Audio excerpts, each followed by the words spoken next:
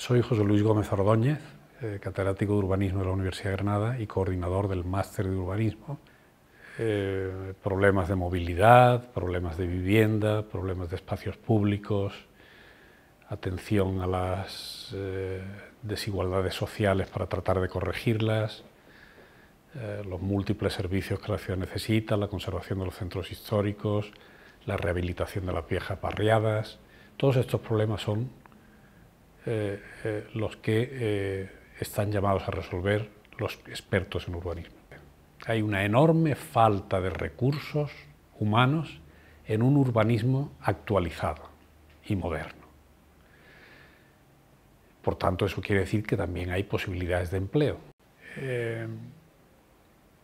¿De qué se compone nuestro programa? Nuestro programa se desarrolla en tres semestres nos hubieran gustado cuatro, pero se desarrolla en tres semestres, porque es complejo, no lo podemos eh, limitar a un solo año. Hay un primer semestre eh, que muestra diferencias de enfoque eh, de diferentes disciplinas y materias. Aquí hay quien encontrará gusto en elegir, encontrará sentido a elegir materias medioambientales, otras más específicas de la arquitectura, otras de la ingeniería las infraestructuras, de la sociología. Es decir, hay un, hay un primer año de explicación de la diversidad de miradas que sobre el mundo del territorio de la ciudad se pueden arrojar. Un segundo semestre enseña a hacer el trabajo práctico, a planificar y a proyectar en la ciudad y en el territorio. Y algo metodológicamente fundamental, enseña a trabajar en equipo. Hay un tercer semestre que está orientado a enseñar a investigar.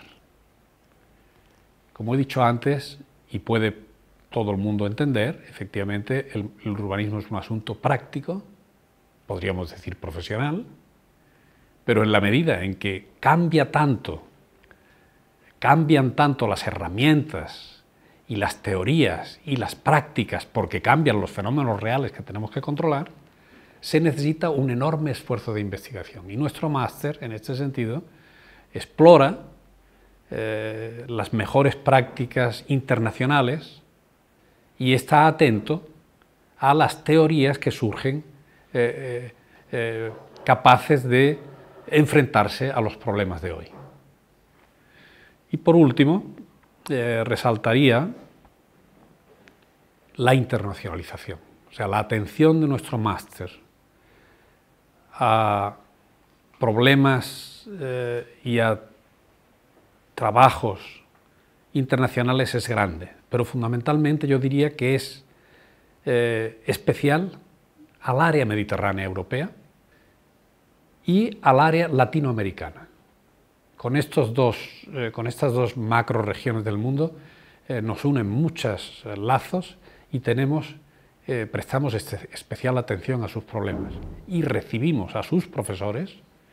los años anteriores ya han pasado profesores de varias de estas universidades, en el área latinoamericana fundamentalmente Chile, a través de Santiago de Chile, Colombia, eh, México, en el área europea, eh, Francia, Italia, eh, como he dicho antes, el área balcánica, y estudiantes también de esas regiones que vienen prestándonos atención y otorgándonos crédito.